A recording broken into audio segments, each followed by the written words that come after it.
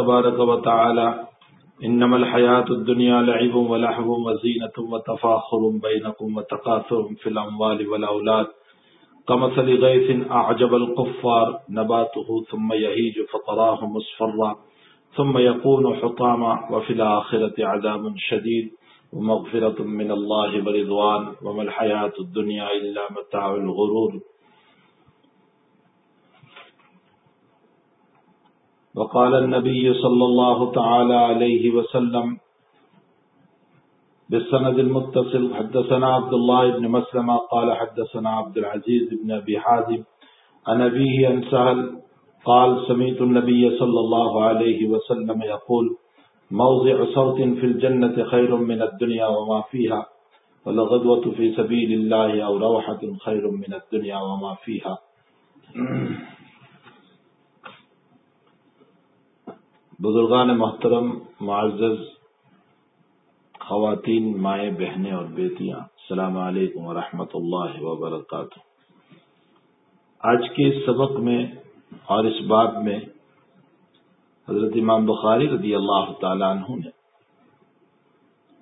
दुनिया की मिसाल और दुनिया की हकीकत को पेश किया है।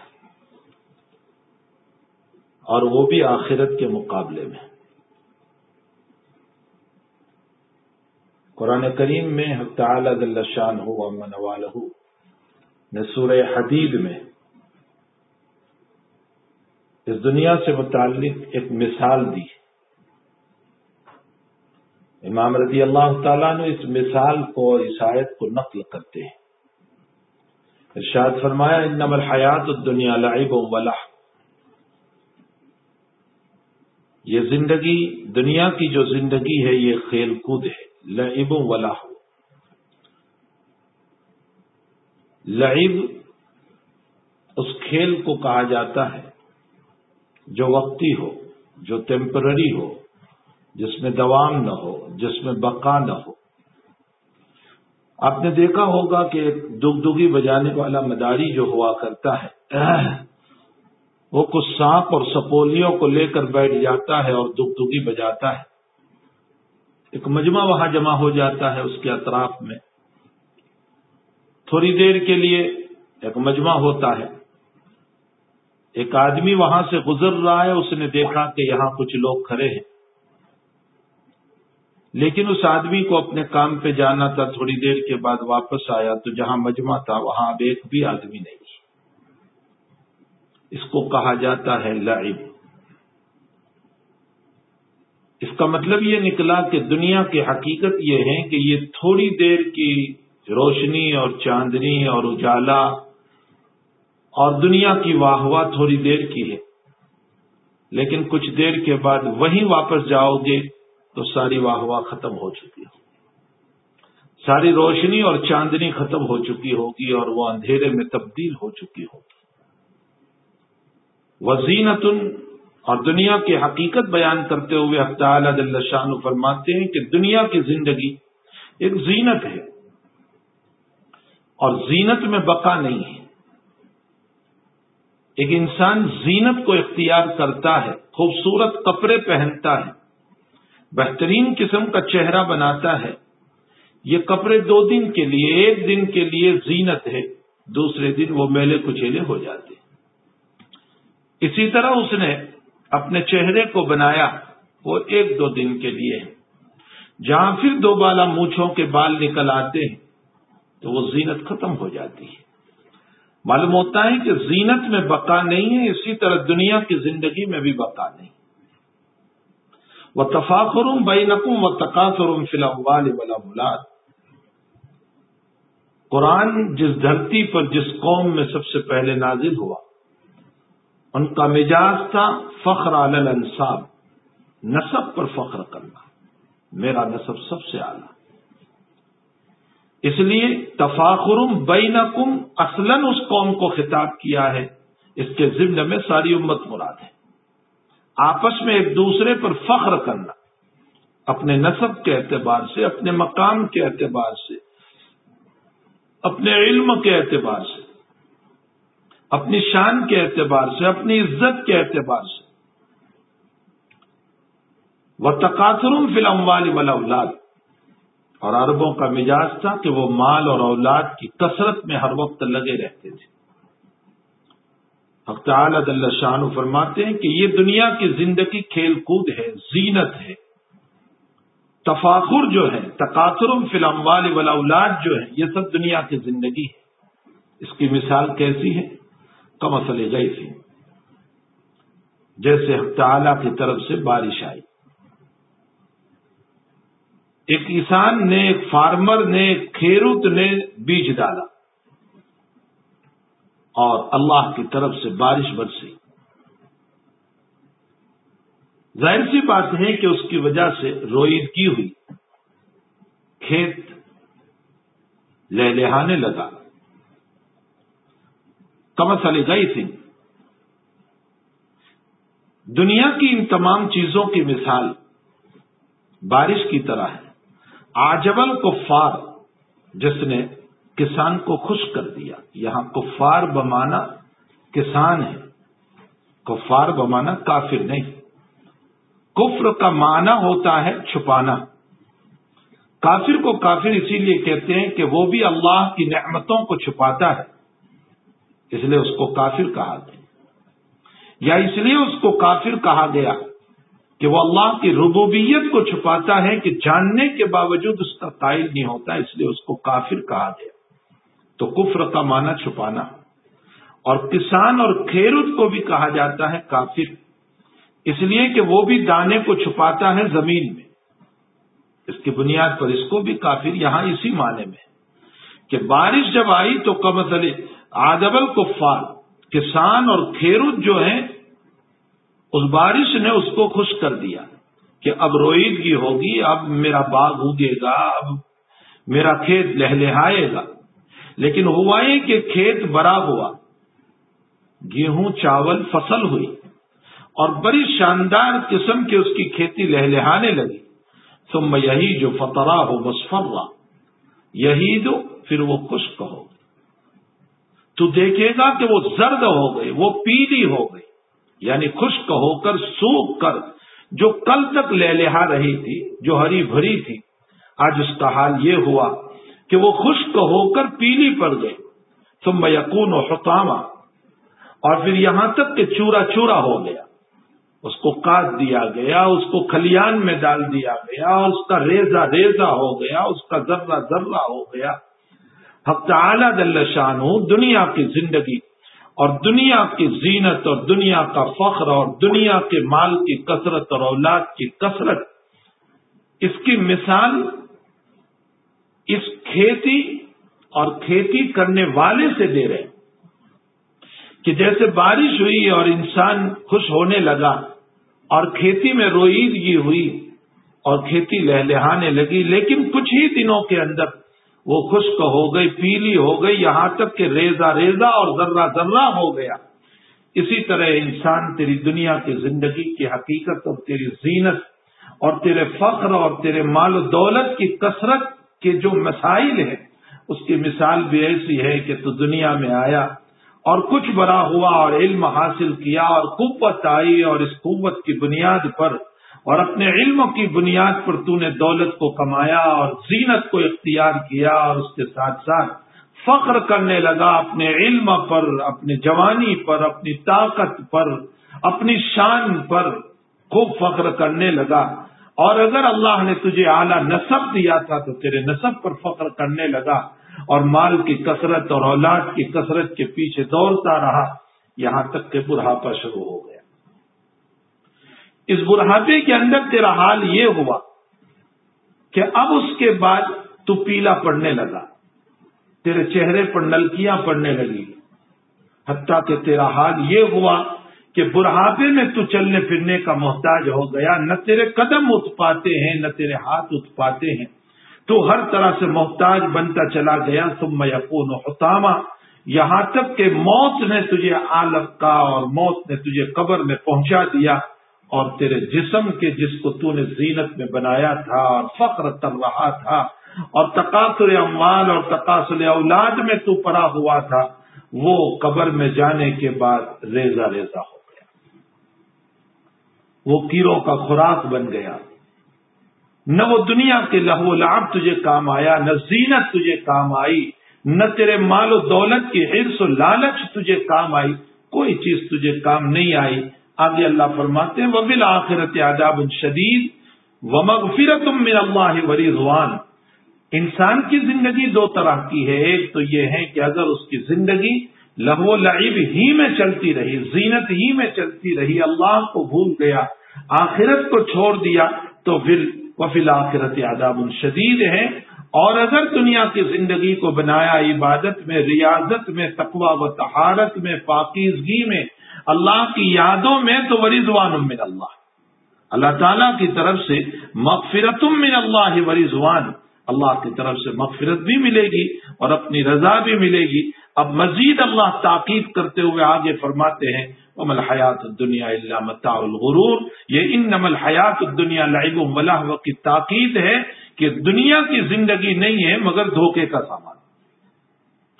और धोखे के सामान में जैसे इंसान कारोबार में धोखा खा जाता है, इसी तरह ताला शाह ने जो एक मुबारक और लहलहाती जवानी अता की थी लेकिन इंसान ने उस लहलहाती जवानी के अंदर धोखा खा लिया। इसलिए ये भी मसाल गुरूर हुआ कि अल्लाह के इस जिस्म को, इस जवानी को, इस अक्ल को, इस शुरूर को और इस कुत वाले बदन को बजाय अल्लाह की रजामंदी में इस्तेमाल करने के, इतात तो इबादत में इस्तेमाल करने के हकीकत ये है कि वो अल्लाह की नाफरमानी व बगावत में और गुनाहों में इस्तेमाल करने लगा तो ये वमल हयात दुनिया इल्ला मताउल गुरूर हो गया। इसीलिए मुस्लिम शरीफ की रिवायत है, हज़रत मुस्तौरीद इब्न शद्दाद रज़ी अल्लाह तु फरमाते हैं कि नबी अकरम सल्लल्लाहु अलैहि वसल्लम ने फरमाया, वल्लाह मद्दुनिया फिल आखिरत इल्ला मसलुमायदालु अहदुकुम इस्फाहु फिल यम फलियंजुर बिमा यरजिउ रवाहु मुस्लिम व तिरमिजी व अबू दाऊद वगैरह नबी सलाम फरमाते हैं, हज़रत मुस्तौरिद इबन शद्दाद रज़ी अल्लाह तु सहाबी रसूल हैं जो इस रिवायत के नाकिल हैं।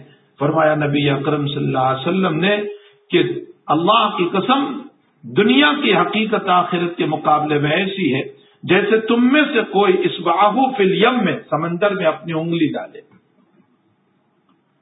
फलियंसुर भी मैयर और अपनी उंगली को निकाले तो जरा देख ले, इस पर कितना पानी आया। फरमाया, हकीकत यह है कि दुनिया की दौलत की मिसाल जो है, वो आखिरत के मुकाबले में ऐसी है। अल्लाह कुर्तुबी रहमत ने इस हदीस शरीफ की जो अभी मैंने रिवायत नकल की, हज़रत मुस्तौरिद रज़ी अल्लाह तु की, इसकी शरह करते हुए कुर्तुबी रहमत ने शर मुस्लिम में लिखा है कि नबी सलाम का ये इरशाद गिरामी, ये कुरान करीम की आयत वमल हयात दुनिया इल्ला मताउन कुल कलील की तफसीर है। दुनिया की ज़िंदगी नहीं है, मगर बहुत थोड़ा सामान।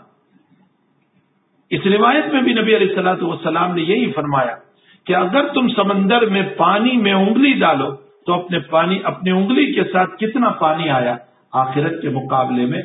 और अल्लाह कुर्तुबी तो आगे वजाहत करते हुए ये फरमाते हैं कि भला ये भी तमसील और समझाने के लिए है दुनिया की बेसुबाती और बेहकीकत को, वरना हकीकत यह है कि चैनस्बत खाक रब आलम पाक, भला मुंतही को गैर मुंतही लामुतनाही, मुंतही को लामुतनाही से कैसे मुकाबला हो सकता है? दुनिया की करोड़ों रुपए की कोई नेमत होगी, लेकिन वो फना होने वाली है और आखिरत की सारी नेमत जरा सी छोटी सी क्यों न होगी, वो बाकी रहने वाली तो जिसमें बका है, जिसमें हमेशगी है, जिसमें दवाम है, भला दुनिया की करोड़ों की नेमत उसका मुकाबला कैसे कर सकती है? एक इंसान ने अपना मकान बनाया, बहुत शौक से बनाया और अरबों खरबों रुपए का, करोड़ों रुपए का मकान बनाया और बेहतरीन किस्म का फर्नीचर उसमें सजाया, सब कुछ किया।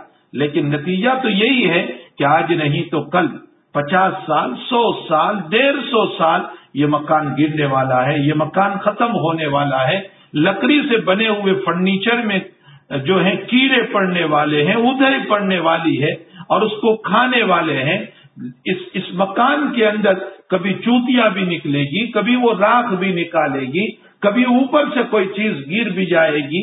आज का हाल तो ये है कि इंसान कितना ही शानदार मकान क्यों न बनाए, लेकिन इसकी बेबसी का आलम ये है कि दस साल नहीं गुजरते हैं कि पानी टपकने लग जाता है उस मकान के अंदर तो कितनी ही कीमती चीज़ दुनिया की क्यों न हो, लेकिन नतीजा इसकी फनाइयत है, ये इसकी बेबसी पर दलालत कर रहा है, और आखिरत की मामूली से मामूली नेमत जो है, वो उसमें बका है, हमेशगी है, दवाम है तो भला, एक एक मुतनाही नेमत जो फना होने वाली नहमत है, वो लामतनाही नहमत का मुकाबला कैसे कर सकती है? इसलिए ये भी जो मिसाल दी हज़रत मुस्तवरिद रज़ी अल्लाह तु की रिवायत में नबी अकरम वसल्लम ने वो किल्लत बताने के लिए ज़रूर दी है, वरना हकीकत यह है कि दुनिया की मिसाल आखिरत के मुकाबले में हो ही नहीं सकती है। यही वजह है कि हज़रत इमाम बुखारी रज़ी अल्लाह तु नकल फरमाते हैं, जिसमें नबी अकरम सल्लल्लाहु फरमाते हैं मज असौतिन फिल जन्नत खैर दुनिया व माफिया फरमाया कि जन्नत में एक कोरे के बराबर जगह मिल जाए, एक कोरे के बराबर, ये दुनिया व माफिया से बेहतर है। सारी दुनिया के मुकाबले में एक कोरे के बराबर जगह मिल जाए, पहले एक मतलब ये समझ लें कि नबी सलाम ने यहाँ कोरे से मिसाल दी। इसका ये मतलब नहीं है कि यूँ कोरा रख दिया गया और इतनी सी जगह ये मुराद नहीं है, बल्कि हदीस शरीफ का मतलब समझने के लिए आप एक मिसाल समझे। हम मस्जिद में बैठे होते हैं या किसी जगह बैठे होते हैं और ज़रूरत से हमारा बाहर निकलना हुआ, मसलन वज़ू करने के लिए, इस्तिंजा करने के लिए या किसी और काम से निकले तो अपनी जगह पर हम रुमाल रखकर चले जाते हैं। अरबों का दस्तूर ये था और अरबों की आदत ये थी कि वो अपनी जगह को महफूज करने के लिए कोरा रख दिया करते थे। गोया के एक मुसल्ले की जगह मुराद है। यहाँ कोरा बोलकर एक मुसल्ले की जगह मुराद है जैसे हम रुमाल रख देते हैं, अरबों का मिजाज था कि वो कोरा रख दिया करते थे।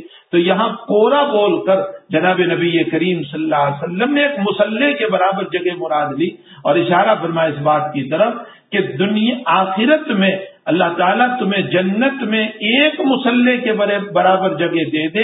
ये दुनिया वमाफिया से बेहतर है, सारी कायनात आपकी दुनिया में मिल जाए। इसके मुकाबले में वो एक मुसल्ले के बराबर, एक कोरे के बराबर जगह जो है वो बेहतर है। इसकी वजह यह है कि दुनिया की नेमत फानी है। और आखिरत की नेमत बाकी है, जिसमें दवाम है, जिसमें हमेशगी है। ज़ाहिर सी बात है कि जिसमें हमेशगी और दवाम है, वो अपनी जगह यकीनन बहुत आला दर्जे की नेमत होगी। और भी बहुत सारी रिवायात में नबी अकरम सल्लल्लाहु अलैहि वसल्लम ने इस मजमून को बयान फरमाया है। आगे इर्शाद फरमाया वलगदवतुनफी सबील और खैर दुनिया व माफिया अल्लाह के रास्ते की एक सुबह और अल्लाह के रास्ते की एक शाम ये दुनिया व माफिया से अफजल है इस जुमले का मतलब समझें कि नबी सलाम ये बताना चाहते हैं कि अल्लाह के रास्ते में तुमने एक सुबह लगा दी या एक शाम लगा दी यहाँ अल्लाह के रास्ते का मतलब या तो जिहाद की सबील्लाह मुराद है कि अल्लाह के रास्ते में एक शाम लगा दी या एक सुबह लगा दी, उसके बदले में अल्लाह ताला जो सवाब देने वाला है, सारी कायनात को जमा कर दिया जाए, उस सवाब का मुकाबला नहीं हो सकता। या फिर इस जुमले का मतलब यह है कि अल्लाह के रास्ते में तुमने एक सुबह और शाम की इबादत की। सारी दुनिया को हासिल करने के लिए जो वक्त लगाया बस दुनिया के पीछे और दौड़ते रहे दौड़ते रहे दौड़ते रहे। इसके मुकाबले में एक सुबह या एक शाम अल्लाह की रजा के लिए इबादत में जो लगाई है, ये सुबह और शाम सारी दुनिया के हसूल के लिए जो टाइम पास कर दिया, उसके मुकाबले में हज़ारों गुना बेहतर है। इसलिए कि वो बकाए सवाब का ज़रिया है, ये फनाए दुनिया का मसला है। बाजुलमा ने इसको यूँ भी बयान फरमाया कि अल्लाह के रास्ते में जो तुमने एक सुबह या शाम लगाई, मसलन तालीम में, तबलीग में, या और किसी अल्लाह ताला के दीनी काम के अंदर, उस पर जो सवाब मिलने वाला है, अगर तुम दुनिया कमाने में लगो, और इस दुनिया को हासिल करके अल्लाह के रास्ते में खर्च करो इस पर तुम्हें इतना सवाब नहीं मिलेगा जितनी अपने सुबह या शाम को लगाने पर अल्लाह सवाब अता कर चाहे। बहरहाल, हकीकत यह है कि आखिरत बाकी है और दुनिया फानी है। इस रिवायत से नबी अकरम सल्लल्लाहु अलैहि वसल्लम हमें इस बात की तालीम देना चाहते हैं उम्मत को ये बात समझाना चाहते हैं कि तुम्हें चाहिए कि तुम फना के पीछे इतने न दौड़ो। कि अपने बका को भूल जाओ, अपने आखिरत को भूल जाओ, और तुम्हें अपनी आखिरत का इस्तेजार भी न रहे, याद भी न रहे, और हर वक्त हाई दुनिया हाई दुनिया हाई दुनिया। इसीलिए कुरान करीम में शान हो वह मनवा लहू हसूल दुनिया के लिए जो दौड़ता है, जिसको कुरान करीम में एक जगह अल्लाह ताला ने और भी बयान फरमाया अल्लाह कुमतकासुर हत्ता जुर तुमुल मकाबिर। यहाँ तकासुर, फिल अमवाल वल औलाद दोनों मुराद है।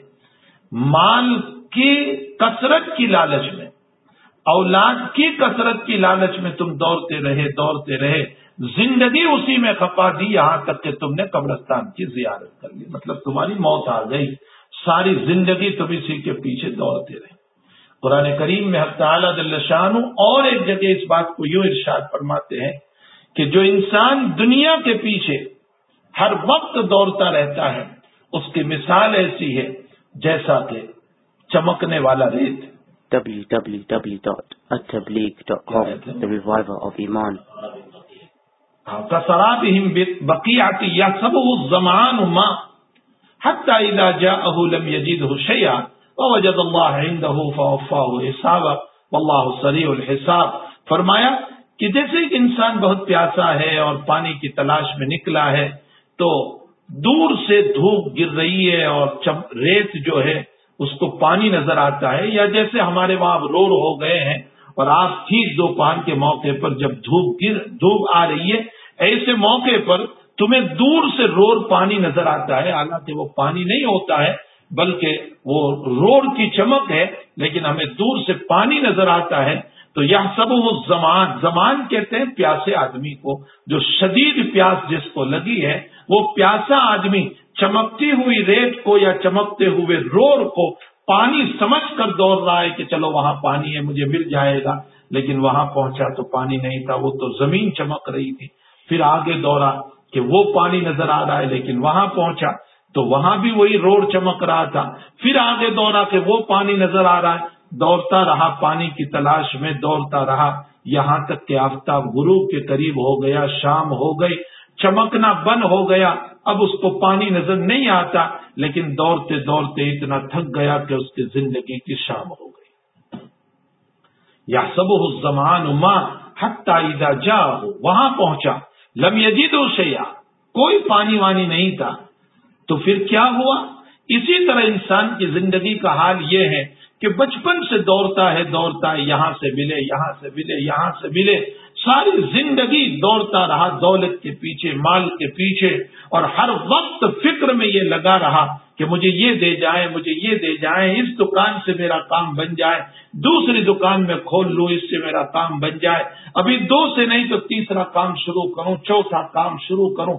तसलसल के साथ ये करता जा रहा है, लेकिन हकीकत हाल ये है कि वो दौड़ते दौड़ते बुढ़ापा आ गया और मौत के करीब पहुँचा। फवफा हो हिसाबा। अल्लाह ताला ने उसकी ज़िंदगी का हिसाब उसके सामने पेश कर दिया कि ये है तेरी ज़िंदगी, जिसमें तू दौड़ता रहा। वल्लाह सरी हिसाब, और अल्लाह बहुत तेज हिसाब लेने वाला बहुत जल्द हिसाब लेने वाला है। मेरे भाई और बहनों, हकीकत यह है कि अल्लाह ताला के हिसाब के बाद में उलमा ने लिखा है कि दुनिया के आधे दिन से कम के अंदर अल्लाह सारी कायनात के हिसाब से फारिग हो जाएगा। अल्लाह सरी और हिसाब। और हिसाब भी, उसको ज़रूरत नहीं है नाम अमाल को लाने की। कोई ज़रूरत नहीं। वहाँ तो सब महफूज है। जिसने पूरे कुरान को, तौरात को, जबूर को, इंजील को और अरबों खरबों साल पहले सारी कायनात की तकदीर को लिखवाया हो, क्या मेरे और आपके अमाल उसको महफूज नहीं? सब महफूज है, लेकिन बंदे की आदत है झूठ बोलना।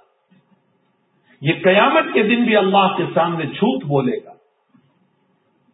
नतीजा ये होगा कि इसके झूठ को गलत साबित करने के लिए नाम अमाल को पेश किया जाएगा और खुद उसकी जबान को बंद करवा कर उसके बदन से हफ्ताशान गुनाहों का एतराफ करवाएँगे, वरना अल्लाह को न नाम अमाल की ज़रूरत है न किसी दफ्तर की ज़रूरत है, न किसी ऐसी चीज़ की ज़रूरत है कि जिसके अंदर ये सारी चीज़ें महफूज हो। हकीकत यह है कि इंसान की आदत को मद्देनजर रखते हुए शाह ये सारा निज़ाम कायम फरमाएँगे। बहरहाल इस रिवायत से ये पता चलता है कि हमें चाहिए कि हम दुनिया के इतने दीवाने और पागल न बने। कि अपने आखिरत को भूल जाएँ, अपनी नमाजों को छोड़ दें, अपनी तिलावत को छोड़ दें, अपने ज़िक्र को छोड़ दें, अपने मौला को छोड़ दें, हलाल रोजी को छोड़ दें और हराम के पीछे रात दिन दौड़ते रहें दौड़ते रहें, ऐसा न करें। इस रिवायत से जनाब नबी करीम वसल्लम ने हमें ये सबक पढ़ाया और हज़रत इमाम बुखारी रज़ी अल्लाह तु ने भी इस रिवायत से इस रिवायत को इस बात में इसीलिए ज़िक्र फरमाया। दूसरा बाब इसके बाद जो है, बाब कौल नबी सल्लल्लाहु अलैहि वसल्लम, कुन फिर दुनिया का अन्न का गरीब और आबिर सभी ये हदीस के अल्फाज थे। हज़रत इमाम बुखारी रज़ी अल्लाह तु ने इसी को बाप बना दिया। ये अब्दुल्ला इतने उमर रज़ी अल्लाह तुमा को नबी अकरम वसल्लम ने आपके इस कंधे को पकड़ के इर्शाद फरमाया था। इसीलिए रिवायत में है अखद रसूल वसल्लम बेमन कभी। इब्ने उमर फरमाते कि हज़रत ने मेरा कंधा पकड़ा और मेरा कंधा पकड़ के मुझे ये कहा, कुन फिर दुनिया का गरीब अवाबिर सभी तुम दुनिया में ऐसे रहो जैसा कि अजनबी रहता है। अवाबिर सबीर या जैसे मुसाफिर होता है। यहाँ से एक मसला मालूम हुआ कि अगर खतीब या वाइस या मुदर्रिस बवक्त दर्स या बवक्त खिताबत, अपने किसी शागिद के, किसी उज्व को पकड़े तंबी करने के लिए तो शरीयत में उसका जवाब है। नबी अकरम सल्लल्लाहु ने हज़रत इबन उमर रज़ी अल्लाह तुमा को तंबी करते हुए उनका कंधा पकड़ा। मालूम होता है कि दर्द जारी है और दर्द के दरमियान कोई खास बात की तरफ़ तवज्जो दिलाना है तो ऐसे मौके पर मसलन पीछे से जरा सा इशारा किया या उसके कंधे पर हाथ मारा। तो ये शरीयत में इसका जवाब है, हजूर पाक वसल्लम की इस रिवायत से इस बात का पता चल रहा है। या कोई वाइज और खतीब, जैसे हमारे शाह वजील्ला साहिब रहमत के बाप में आता है कि हज़रत मजलिस में कभी कभी वज्द में आ जाते थे, जोश में आ जाते थे। तो हज़रत का मामूल ये होता था कि जो करीब में बैठा होता था, उसके सर पर चपत मारते रहते थे। और ये भी मशहूर था कि हज़रत जिसके सर पर चपत मारते थे, अल्लाह उसको विलायत नसीब कर देता था। ये हज़रत की करामत थी। अब्दाल शानू उसको विलायत नसीब कर देता था। तो बहरहाल इससे यह मसला साबित हुआ। इबन उमर रज़ी अल्लाह तुमा फरमाते हैं कि मुझे नबी अकरम वसल्लम ने मेरा कंधा पकड़ के ये फरमाया, कुन फिर दुनिया का अन्न का गरीब। इबन उमर, दुनिया में तुम इस तरह रहो जैसे अजनबी रहता है। गरीब और अजनबी बताकर हजूर पाक वसल्लम ने इशारा फरमाया कि अजनबी आदमी जब किसी जगह होता है तो वो सहमा सहमा रहता है, मुतवहिश रहता है, इसलिए कि उसके दोस्तों अहबाब वहाँ नहीं होते। वो किसी पर एतमाद नहीं करता है, भरोसा नहीं करता है, बल्कि उसका हाल ये है कि उसके दोस्त तो यार भी इतने वहाँ नहीं होते हैं। हज़रत ने ये जुमला इर्शाद फरमा कर इशारा फरमा इस बात की तरफ़ कि तुम भी दुनिया में इसी तरह रहो कि बहुत दोस्त तो यार न रखा वरना तो तुम्हारी सारी ज़िंदगी सुबह से शाम तक ये दोस्तों यार में चली जाएगी, जैसे आजकल लोगों का हो रहा है। कि सुबह होते ही इस दोस्त के साथ, उस दोस्त के साथ, उस दोस्त के साथ, फिर दूसरा दोस्त, फिर तीसरा दोस्त। यहाँ तक के हाल ये है कि सुबह से शाम तक दोस्तों की मजलिस में वक्त गुजर जाता है और नमाज़ गायब हो जाती फिर गीबत में वक्त गुजरता है, फिर बुराइयों में वक्त गुजरता है, फिर गाली गलोज में वक्त गुजरता है फिर हँसी मज़ाक में वक्त गुजरता है, लायानी बातों में वक्त गुजरता है। हाँ अगर किसी दोस्त से बवक्ते ज़रूरत मिलना और उसमें कोई दीनी मसलियत है ये बिल्कुल जायज़। हकीम उलम्मत हज़रत अब्दुस्तान नवर अल्लाह मरकद फरमाते कि हम अपने पीर और मुर्शिद हज़रत हाजी साहब रहमत की खिदमत पे बैठे हुए थे और मिलने के लिए आई साहब के पास।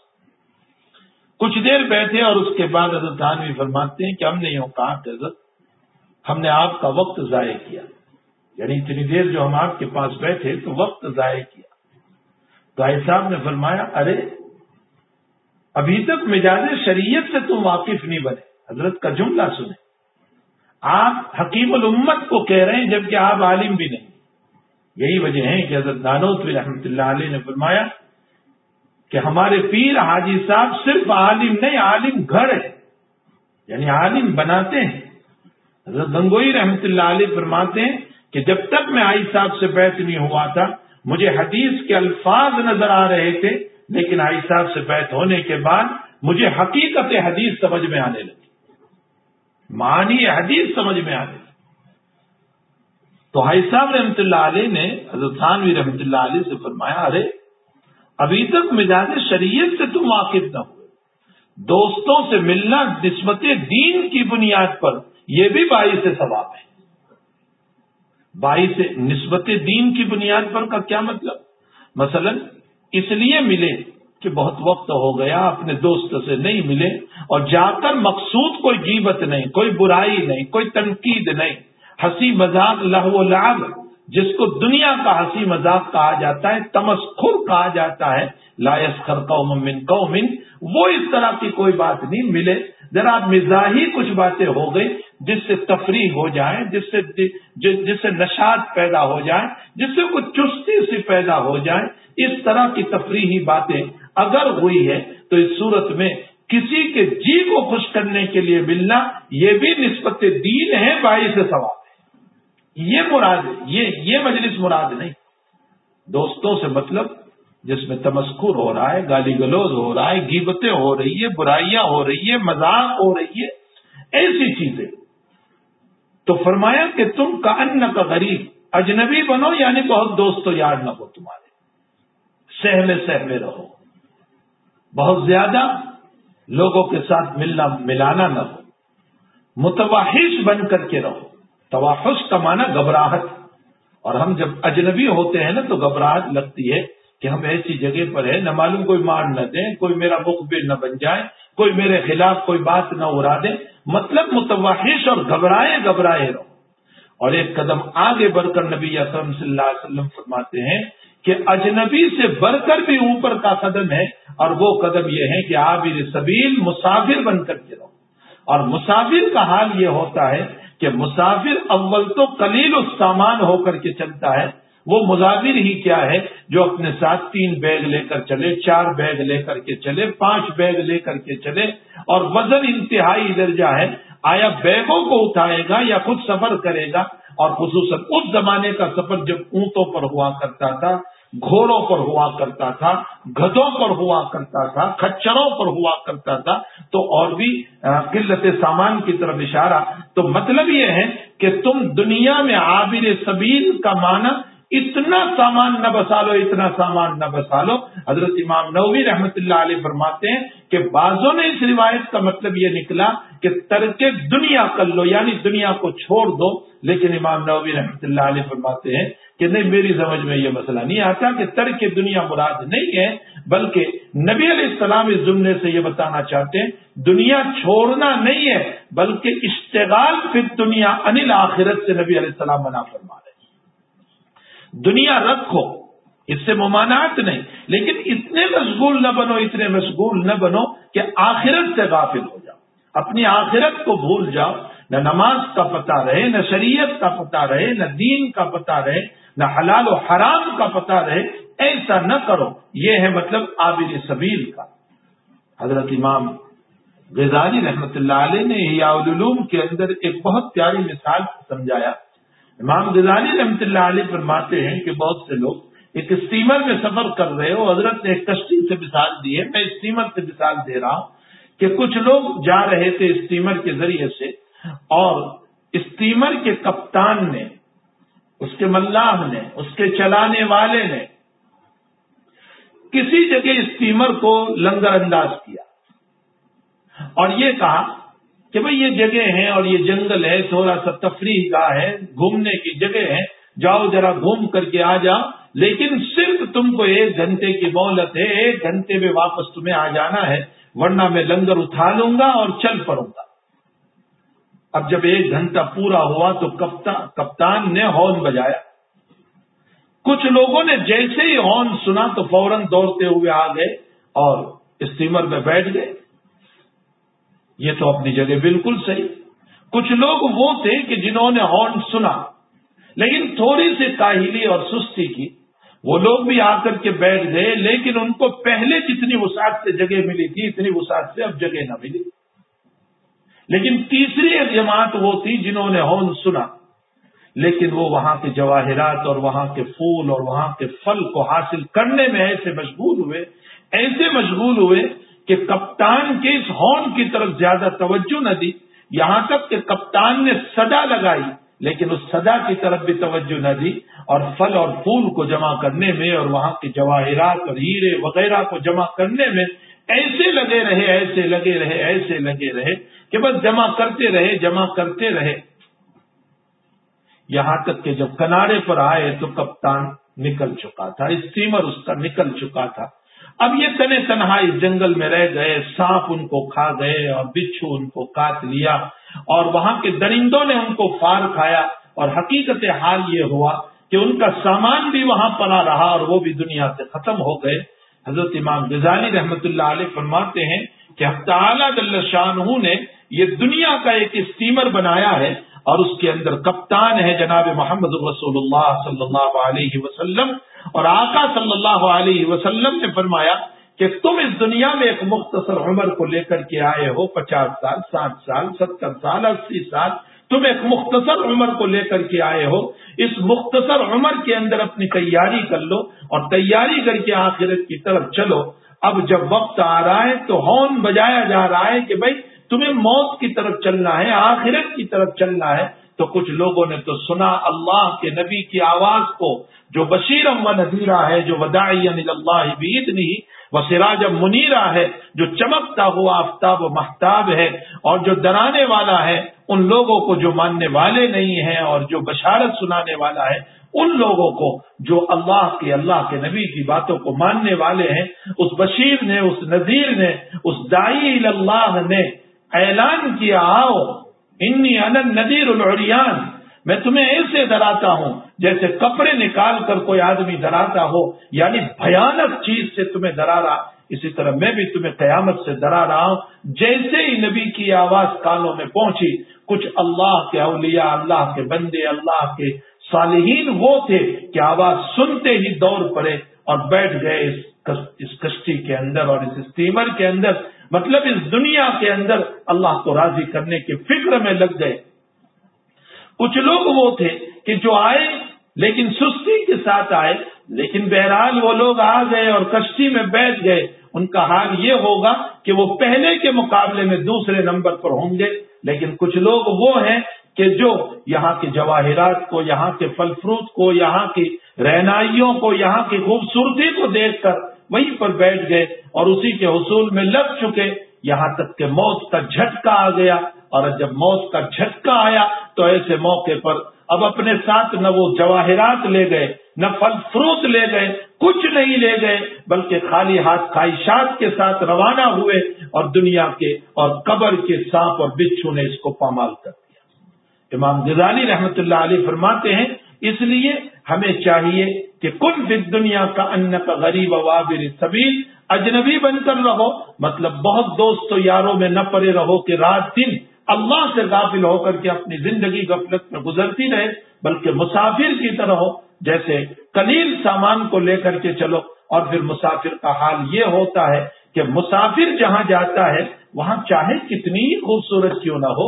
मसलन एक इंसान सफ़र कर रहा है, एक रात का कयाम हुआ और उसने जो है, फाइव स्टार होटल में कयाम किया, एक नाइट का वहाँ कयाम था, उसका रुकना था, सुबह में फिर उसको आगे सफ़र करना था। जिस जगह वो रुका है फाइव स्टार होटल है, शानदार बाग है, सब कुछ है, उसका जो रूम है, बड़ा खूबसूरत है और बेहतरीन किस्म के उसके अंदर चीज़ें हैं लेकिन वो मुसाफिर उस फाइव स्टार रूम पर और वहाँ की खूबसूरती पर और उस बाग पर अपना दिल नहीं लगाता। अगर सुबह उसका नौ बजे फ़्लाइट है तो वो सुबह छह बजे से उठ करके वहाँ से रवाना हो जाता है।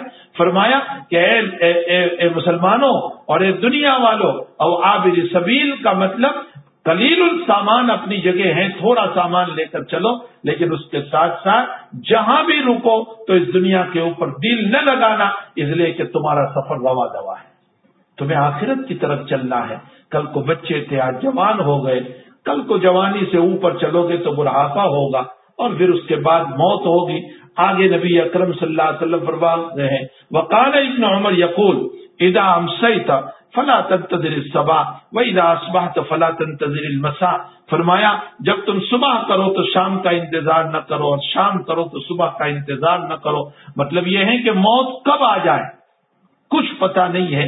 इसलिए ये इंतज़ार न करो कि मैं अभी ज़िंदा हूँ तो सुबह भी ज़िंदा रहूँगा, बल्कि अभी अपने मामले को रात में साफ़ करके सो जाओ ताकि अगर रात में कोई मसला हो गया तो अल्लाह के सामने साफ़ सुथरे होकर जाए वखुद मिन से हाथी का लिमारजी और नबी सलाम ने, या इबन उमर रज़ी अल्लाह तुमा ने फरमाया कि वखुद मिन से हाथी का लिमारजी फरमाया, अपनी सेहत के जमाने में इबादत कर ले अपनी बीमारी के लिए। मतलब यह है कि बीमारी में तू ये इबादतें नहीं कर पाएगा। वमिन हयाती कलिमौतिक और तेरी हयाती में इबादत कर ले, तेरी मौत के लिए। यही वजह है कि हाकिम ने दूसरी रिवायत नकल की है, जो मैं इससे पहले किसी मजलिस के अंदर नकल कर चुका हूँ। खम्स। कबल खम्स, इन पाँच चीज़ों को, पाँच चीज़ों से पहले गनीमत समझो। उसमें साफ़ तौर पर यह नकल किया गया है कि अपनी सेहत के जमाने में इबादत कर लो, अपनी बीमारी से कबल, और अपनी हयात में इबादत कर लो कबल इसके कि मौत आ जाए। और अपनी जवानी में इबादत कर लो अपने बुढ़ापे से पहले। और उसके साथ साथ इंसान को चाहिए कि अपनी ज़िंदगी को अल्लाह की यादों में इस तरह गुजार ले। जैसे नबी सलाम ने फरमाया कि अपनी मालदारी में इबादत कर लो अपने फख्र से पहले। तो ये वो चीज़ें हैं जिसमें हजूर पाक शासम हमको इशारा फरमा रहे इस बात की तरफ़ कि हमें आखिरत की तैयारी करना चाहिए। अब यहाँ एक सवाल हो सकता है कि नबी अकरम सल्लल्लाहु अलैहि वसल्लम तो इरशाद फरमाते हैं इदा मरीज़ अलाब्द अवसाफरा कतबल्ला तबारक व लहू माकान या अमल सही सकीमा नबी सलाम फरमाते हैं कि बंदा जब अपनी सेहत में खूब इबादत करता है या अपनी इकामत की हालत में इबादत करता है और सफ़र की बुनियाद पर और बीमारी की बुनियाद पर वो इबादत नहीं कर सका तो अब तालाशान हो उन इबादतों को न करने के बावजूद सवाब अता फरमाते बजाय सवाल होता है कि जब इंसान सेहत में इबादत करता था तो फिर इस सूरत में मर्ज में बगैर इबादत के भी अल्लाह ताला सवाब अता करते हैं तो फिर इस सूरत में नबी सलाम इसमें ये क्यों फरमा रहे कि ले सेहत का, ले सेहत का, ले मर्ज का, यानी तेरी तंदुरुस्ती में इबादत कर ले तेरी बीमारी के लिए। ये इश्काल इस पर बहुत बड़ा होता है। इसलिए कि जब सेहत में इबादत की है तो मर्ज में बगैर इबादत के भी अल्लाह सवाब देने ही वाला है, हदीस शरीफ से मालूम होता है। तो फिर हज़रत ये क्यों जुमला इर्शाद फरमाते? उसका जवाब ये है कि ये रिवायत जिसमें आप शासन ने फरमाया कि एक आदमी अगर अपनी तंदुरुस्ती में खूब इबादत करता रहा और बीमारी की वजह से उन इबादतों को नहीं कर सका, यहाँ वलन तो नवाफिल मुराद है। फराइज मुराद नहीं, नवाफिल मुराद है। मसलन शराब का पाबंद था अवाबिन का पाबंद था, चाश का पाबंद था सलाद तौबा का पाबंद था। अब बीमारी में इस इबादत को नहीं कर सकता है तो उसकी आदतें मुस्तमरना की बुनियाद पर, हमेशा की आदत की बुनियाद पर बीमारी में इन इबादतों को न किए बगैर भी अल्लाह समा बता। ये तो उस हदीस शरीफ का मतलब। और इस रिवायत में जो अभी हम सुन रहे हैं, पढ़ रहे इसमें उस इंसान से मुतालिक कहा जा रहा है, जिसने सेहत में कुछ नहीं किया और मर्ज में अफसोस करता था। ये उसको कहा जा रहा है कि अब मर्ज में अफसोस करने से तुझे कोई फ़ायदा नहीं होगा। तुझे चाहिए था कि अपनी सेहत के जमाने को अपनी इबादत से मामूर कर देता। अगर अपनी इबादत, अपनी सेहत के जमाने को, अपनी तंदुरुस्ती के जमाने को अगर इबादत से मामूर कर देता तो इस सूरत में अल्लाह ताला तेरी बीमारी में बगैर इबादत के भी तुझे सवाब अता करता। लेकिन अब तू कितने ही आँसू बहाता रहे, लेकिन तेरी बीमारी में तुझे वो सवाब मिलने वाला नहीं है। इससे ये मालूम होता है कि नबी अकरम सल्लल्लाहु के इस फरमान मुबारक को नकल करके हज़रत इमाम बुखारी रज़ी अल्लाह तला हमें ये बताना चाहते हैं कि हमें भी दुनिया में दोस्त अहबाब में मुतलकिन में बहुत इश्तगाल नहीं रखना चाहिए, बल्कि हमारे हज़रत थानवी नवर अल्लाह मरकदऊ तो फरमाते हैं कि हर मुदर्रिस को, हर वाइस को, हर खतीब को भी थोड़ा सा खलवत का वक्त निकालना चाहिए, जिस खलवत के वक्त में वो हो और उसका अल्लाह। हर वाइज हर खतीब, हर मुदर्रिस को, हर शेख को, हर मुफ्ती को थोड़ा सा वक्त निकालना चाहिए, जिस वक्त में वो हो और उसका अल्लाह हो। हर वक्त तलबा के साथ, हर वक्त जो है मुरीदीन के साथ बैठे रहना जिसकी बुनियाद पर कल्ब कभी कभी उस पर गैन छा जाता है, गुबार छा जाता है।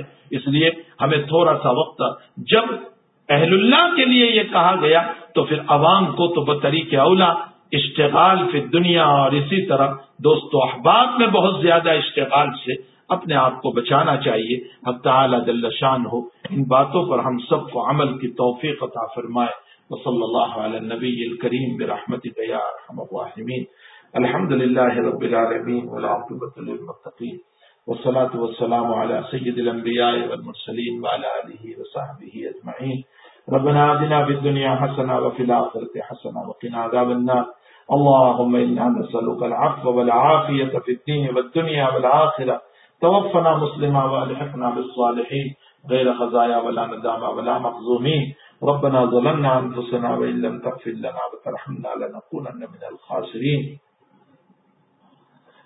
अल्लाह हमारे गुनाहों को माफ़ फरमा, हमारे कसूरों से दरगुजर फरमा। अल्लाह हमें इश्तगाल फिर दुनिया के बजाय, इश्तगाल फिल आखिरत की तोफ़ी अता फरमा। आमाल साल का जौक अता फरमा।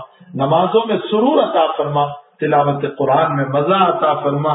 अल्लाह दुनिया की कसरत दोस्तियों के बजाय ए अल्लाह, तेरे हबीब से और तुझसे दोस्ती रखने की हम सबको तोफीक अता फरमा। इलामीन हमारे कुलूब को मुजल्ला व मुनवर फरमा। अल्लाह, बीमारों को शिफाय दायमा मुस्तमर्रा अता फरमा। मरहूमीन की मफफरत फरमा। परेशान हालों की परेशानियों को दूर फरमा। अलामीन बेकसूर कैद बन में है, उन्हें रिहाई अता फरमा। गलत मुकदमात में है, अल्लाह उनको नजात अता फरमा। आफियत से बरी फरमा। हम सब की दुआओं को अपने फजल करम से कबूल फरमा। वसल्ला नबी करीम बरहमती कया